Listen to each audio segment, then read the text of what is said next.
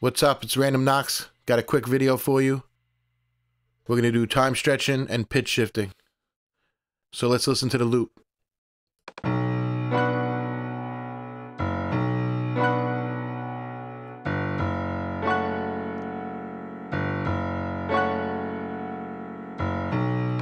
All right, so our loop is 90 BPMs. It's four bars long. We set our session to 90 BPMs. But now we want to change it to 85.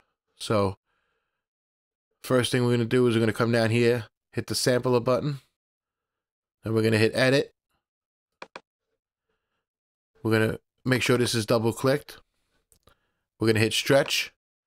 We're going to come right here. The source BPMs is 90. We're going to leave that alone. We're going to bring this down to 85. And we're going to make sure this is four bars, which it is already. We'll hit apply. And I'll play it. I'll put the metronome on. And I'll play it.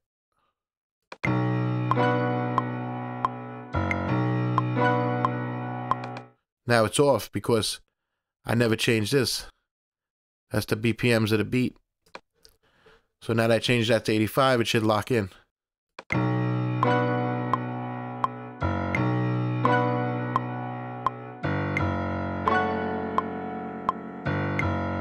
All right, that sounds good.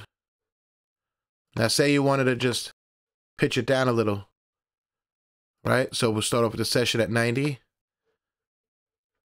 And we want to pitch it down, but we want to keep the same BPM. So we leave that at 90. Come to our loop. We hit sample, edit, stretch. Make sure we're clicked on here. We're going to leave the new BPMs at 90 four bar loop. We're going to come right here to tune. We're going to bring it down four semitones.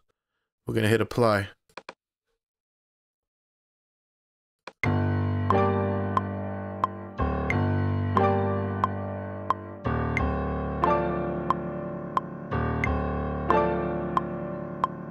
We pitched it down four semitones, but we kept the BPMs. All right, so there it is. Time stretching and pitch shifting.